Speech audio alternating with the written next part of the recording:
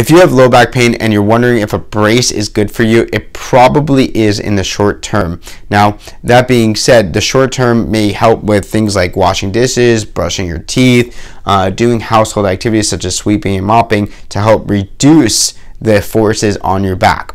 But that being said, you should be strengthening your core and your abdominal region so that you can get better and get out of pain.